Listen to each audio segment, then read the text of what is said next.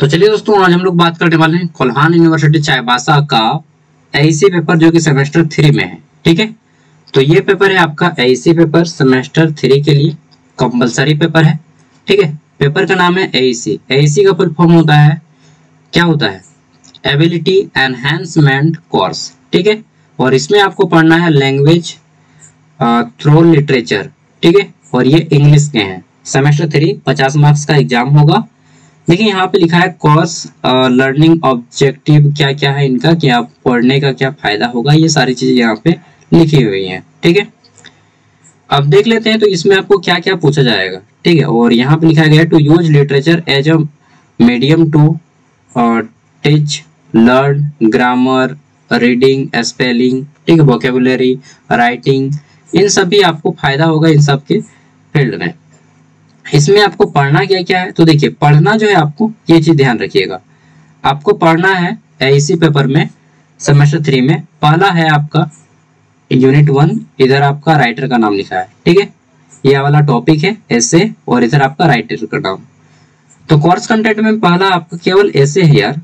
Only ऐसे हाँ only ऐसे इसमें हमारा है पहला ह्यूमैनिटीज वर्सेस साइंस ठीक है? ह्यूमैनिटीज मतलब होता है आपका आर्ट्स मतलब कला, ठीक है? वर्सेस साइंस ये एक निबंध है और ये लिखा गया है एस राधा कृष्णन के द्वारा। अब ये एस राधा कृष्णन कौन है? डॉक्टर सर्वपल्ली राधा कृष्णन जिसके बर्थडे पे हम लोग टीचर्स डे मनाते हैं, ठीक है? तो डॉक्टर सर्वपल्ली राधा कृष्णन ने लिखा है ह्यूमैनिटीज वर्सेस साइंस ये आपको पढ़ना है। आप यूट्यूब से देख के पढ़ लीजिएगा, चाहे गूगल से पढ़ लीजिएगा, ठीक है? नेक्स्ट है आपका यहाँ पे, और अगर गेस्ट पेपर लिए तो गेस्ट पेपर से पढ़ लीजिएगा। ज़्यादा बेटर रहेगा गूगल से पढ़िए, क्योंकि उसमें पढ़िएगा तो ज़्यादा जल्दी याद रहेगा आपको। नेक्स्ट है आपका विंग्स ऑफ़ फायर ठीक है? और ये जो है बहुत अच्छी बुक है, और इसे मैंने पढ़ा भी है। और ये लिखा गया है missile man doctor APJ Abdul Kalam ji के द्वारा, ठीक है? तो विंग्स ऑफ़ फायर इसका हिंदी होता है अग्नि की उड़ान। नेक्स्ट है हमारा यहाँ पे, तीसरा है आपको जो ऐसे पढ़ना है on the rule of the road ठीक है? On the rule of the road यानी कि सड़क के नियम। और ये है ए जी गार्डनर के द्वारा। ये कौन है जी गार्डनर हम तो इसका नाम पहली बार सुने। ठीक है? अभी अभी। तो ये आपका on the rule of the road ठीक है? सड़क में कौन कौन से नियम होते हैं, वो आपको इसमें पढ़ने होंगे। जैसा कि यहाँ पे लिखा हुआ है। नेक्स्ट है आपका द यूज़ इन द क्या है जी मशीन। ये क्या, इस बुक को मैंने नहीं पढ़ा है, ठीक है? इसीलिए ये आपका जॉन थॉर्न हिल के द्वारा लिखा गया है, ठीक है? The muse in the machine.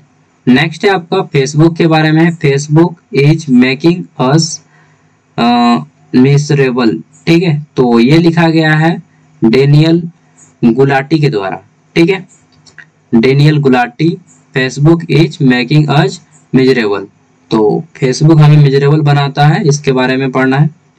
आगे देख लेते हैं नेक्स्ट हमको पढ़ना है यहाँ पे one word one word one culture ठीक है? वन वर्ल्ड वन कल्चर मतलब एक विश्व, एक संस्कृति, ठीक है? और ये लिखा गया है, दो राइटर हैं, इसमें सॉरी तीन राइटर मिलकर लिखे हैं। पहला है केनाथ जे, दूसरा है आपका, ये सभी फॉरेन के मतलब आउट ऑफ़ इंडिया के हैं, इसीलिए इनका नाम ऐसा ही है। पेकेन हम ठीक है।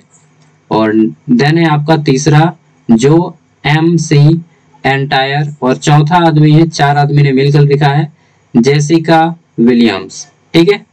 वन वर्ल्ड वर्ल्ड कल्चर मतलब एक विश्व, एक संस्कृति या सभ्यता, जो बोलिए, ठीक है।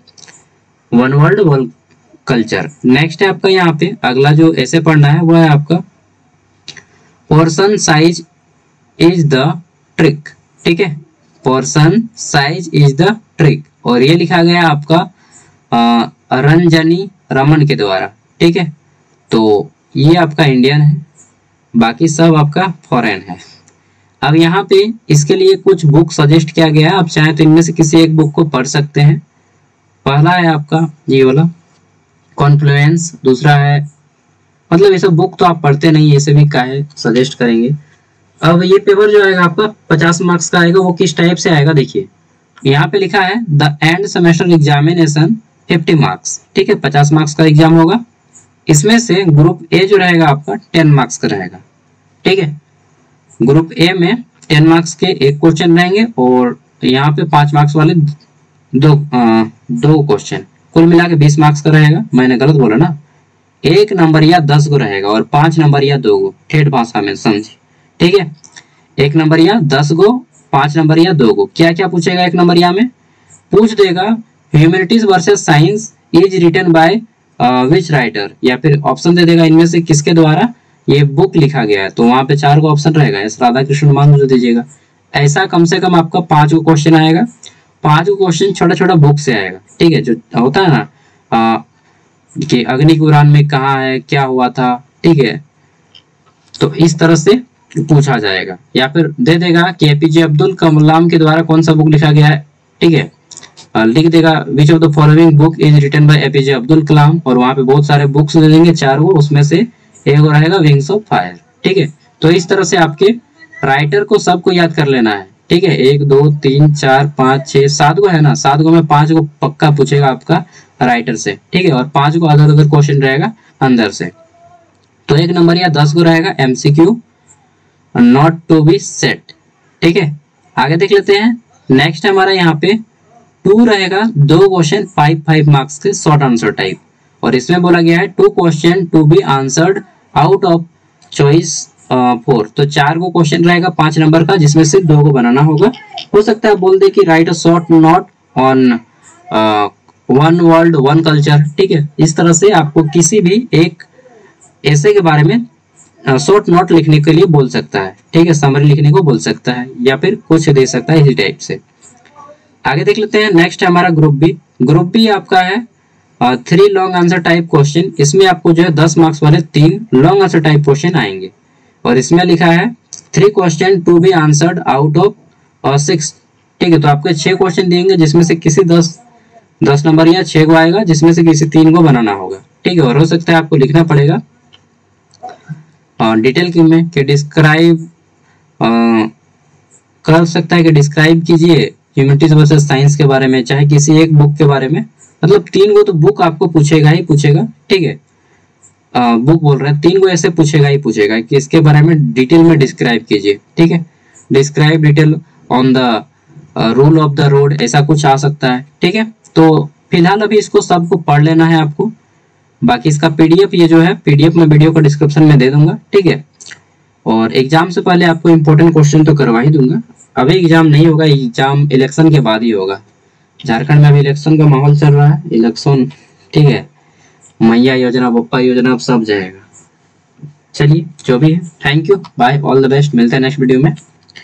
और धीरे धीरे मैं अपलोड कर दूँगा सारा कुछ।